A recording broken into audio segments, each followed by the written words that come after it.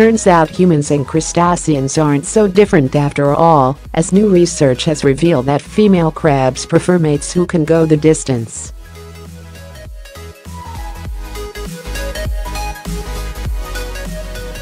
Fiddler crabs with the energy to keep upping the pace of their courtship displays are the most likely to attract a mate, though they still only last 5 minutes.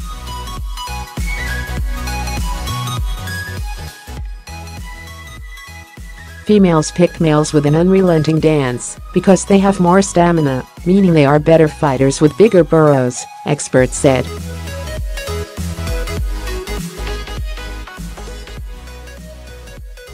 Scientists at Anglia Ruskin University in Cambridge made the discovery after introducing female fiddler crabs to specially designed waving robot claws.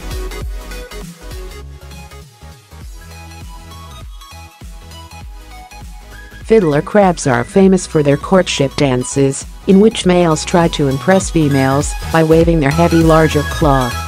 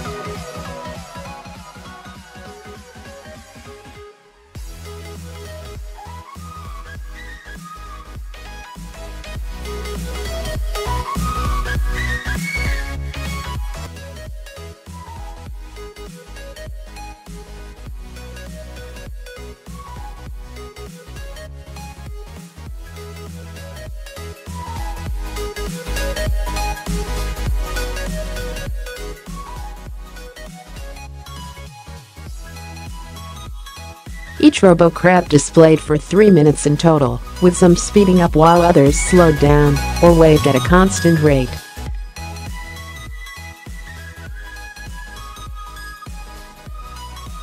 Dr. Mowles said, if a female crab likes a male, she approaches his burrow and follows him into it.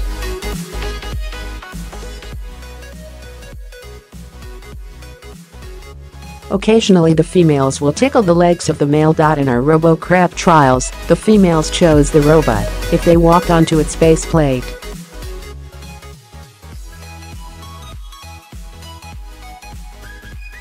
Some females even tickle the robot, as if it were a real male. Dot during each dance, a male alternates between waving his claw and drumming it against his legs as the female approaches.